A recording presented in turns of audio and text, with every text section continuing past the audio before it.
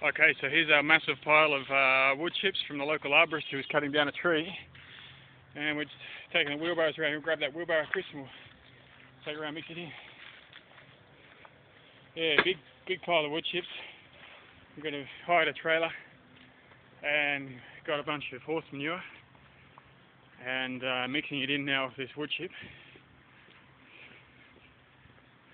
It's a bit of a task.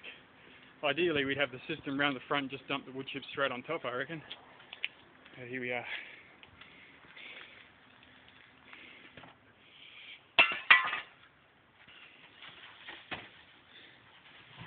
Okay, we're going to stir all that in. We'll just keep going until we've got mostly wood chips over the horse manure. Uh, main reason, well, one, we want the bulk, but also the number of flies that come when it's just horse manure. If we get into wood chips, they're all gone. So we've got to dominate it with wood chips.